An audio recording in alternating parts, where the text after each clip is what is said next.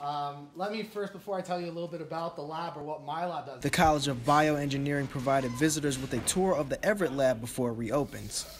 1964 U of I graduate John Johnson remembers when it was a new field of study and is amazed at how the program will grow with its new location.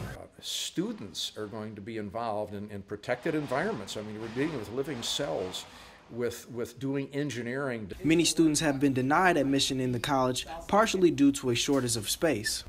But the move to Everitt will double its acceptance rate with the help of its larger labs. In the past, the program was only allowed to admit 70 students due to limited space.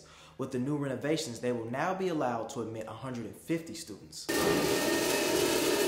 The department also plans to make room for both colleges of medicine and engineering. Associate Professor Roy Dar is intrigued that each group will be able to help one another since they're all under one roof. Two different labs in this building or other people outside of this building that are even not even working on your problem they can still find ways to access your what you're doing and vice versa Tour attendees, including Johnson, enjoyed the setups they saw throughout the building.